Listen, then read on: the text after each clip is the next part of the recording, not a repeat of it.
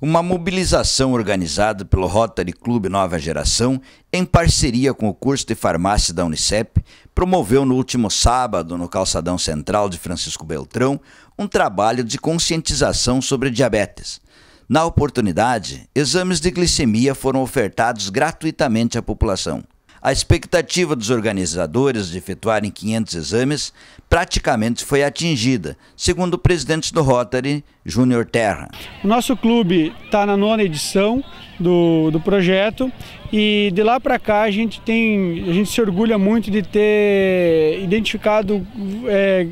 inúmeros, inúmeros casos de exame de glicemia alterado e encaminhado então essas pessoas para o tratamento junto à Secretaria de Saúde. É, dessa forma a gente consegue fazer com que o problema de saúde dessas pessoas seja minimizado, uma vez que a diabetes ela é uma doença silenciosa e precisa ser, ser detectada com, com, com rapidez para que o tratamento dela seja mais, mais fácil e, e, e rápido. Foram feitos, além do exame de glicemia, aferição da pressão arterial e através dos profissionais da área de saúde que, que estão prestando seu, seu serviço de forma voluntária, os acadêmicos de farmácia da Unicep e de medicina da Unioeste estão tirando dúvidas e transmitindo informações para todas as pessoas que, que aqui passaram.